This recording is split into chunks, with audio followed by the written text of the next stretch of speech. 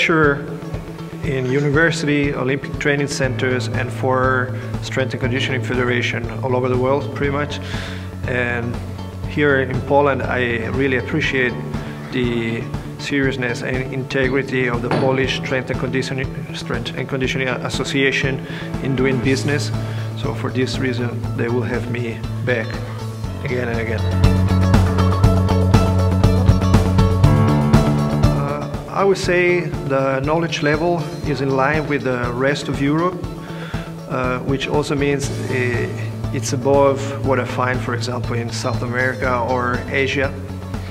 The practical knowledge, the strength training knowledge here eh, and strength training tradition here is pretty strong. So on a practical, uh, from, from the practical uh, point of view, uh, Polish strength and conditioning coaches and trainers are quite knowledgeable. Uh, as far as the audience that I get when I uh, teach here, uh, uh, I get mostly junior coaches or national level coaches, whereas in places like Italy or Brazil, for instance, I also get uh, elite level coaches uh, from track and field, from combat sports or uh, motor sports, uh, volleyball, soccer, uh, basketball.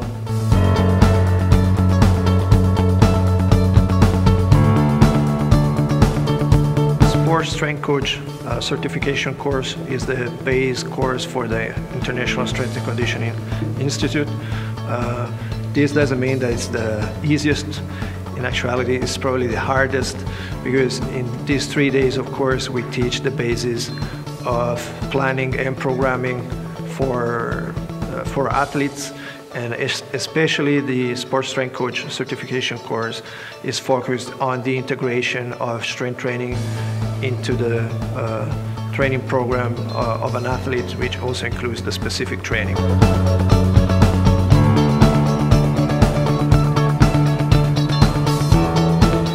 Second level is more focused on periodization for speed and endurance.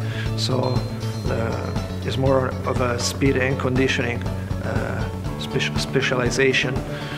And this knowledge integrates with the strength uh, strength programming and planning and programming of the first level so that we create uh, an all-round strength and conditioning coach.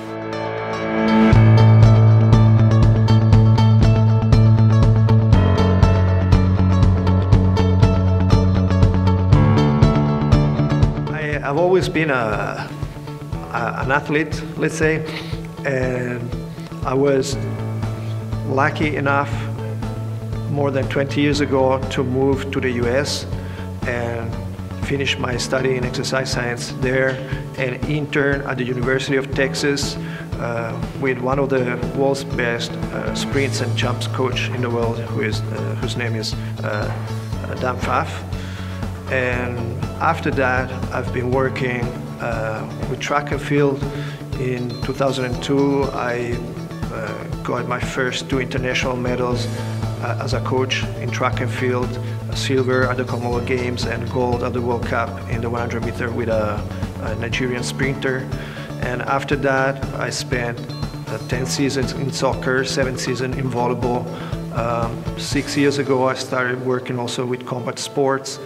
And three years later, I had um, uh, international, intercontinental uh, title winner in boxing in the IBF and the same year, uh, a Brazilian, Brazilian Jiu-Jitsu fighter won the London Open IBJJF.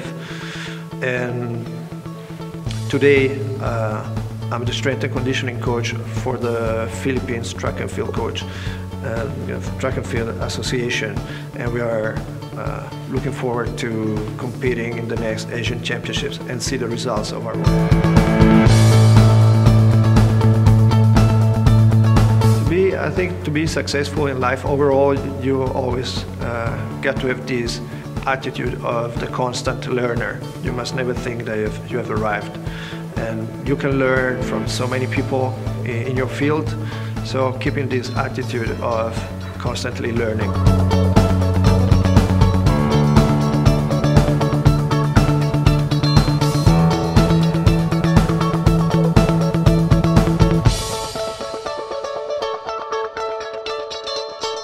A long time ago, I read a chapter on uh, training planning in a manual of the Italian track and field Federation, and that pretty much changed my my life because I've always been a very cerebral kind of person, and and reading how uh, planning was a mean to manage the complexity of the training process really fascinated me.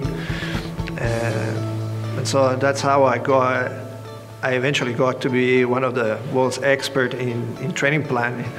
Uh, but it all started with, with that chapter so many years ago. So that was one. The other one uh, was periodization training for sports uh, written by Tudor Bompa. Uh, I found that book so practical and so structured. And already then I was thinking that you have to contextualize uh, your approach to planning and programming depending uh, on the characteristics of your athlete or the characteristics uh, of the sport. But again, it was so structured and practical that I kept going back uh, again and again to that book. And again, eventually, I became the co-author of that book.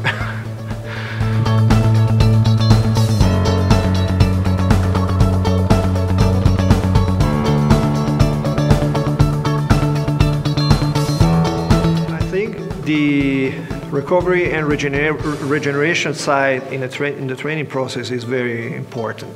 You know, it's not something that you can overlook and expect the best possible results. So uh, recovery and regeneration got to be always integrated with the actual training side. Uh, so normally my, my athletes get a lot of soft tissue therapy throughout the year uh, in the form of myofascial release and deep tissue massage pretty much all year long.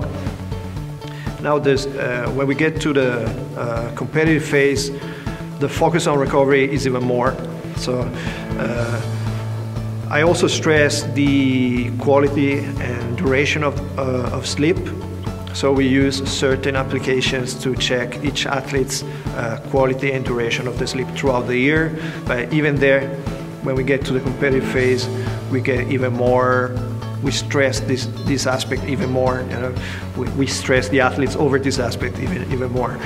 And, and certain uh, recovery means we only use in the competitive phase, like uh, cryotherapy, for instance, because uh, it hinders a little bit the, the adaptations to training. So in the competitive phase, when adaptation is not, is not the focus anymore, rather the performance and the recovery from the performance, then we use cryotherapy.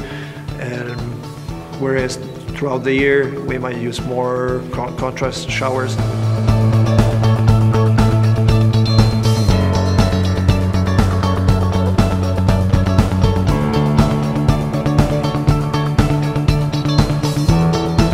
Was in volleyball. That was in volleyball a long time ago. Uh, that was my first year in volleyball, and I was strength and conditioning coaching um, a provincial level team uh, in a big province. So in our championship, there were so many, so many teams, uh, and I was the only strength and conditioning coach in that league, and also in the following league, which is the regional league. But that year, we killed the, the, the, championship. We, we won the championship with five weeks in advance to the end, to the actual end of the championship. And what happened is that the following year we were in the regional league and all the teams in the provincial league and the regional league that, that season had a strength and conditioning coach. So my joke with my students was uh, I created more jobs than Silvio Berlusconi.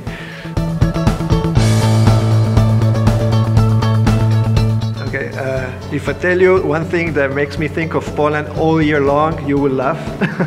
because, uh, so you, you guys here, the guys wear uh, short hair. And so your hairdressers are used to work with short hair, you know. So uh, last year I came here and I got a great haircut here in Warsaw. And both me and my girlfriend at the time were, were saying, man, got to go back to Poland. That, those were the best uh, haircut you ever got. So uh, all year long, I'm thinking of coming back here to get an, an haircut. Apart from that, I really like the old town here in Warsaw. I mean, even yet, even last night it was freezing, and I was like, wow, I love, I love this, I love this town. And I'm coming from Tuscany in Italy. It's one of the world's most beautiful places. So it tells a lot the, how beautiful, at least I think, uh, Warsaw is.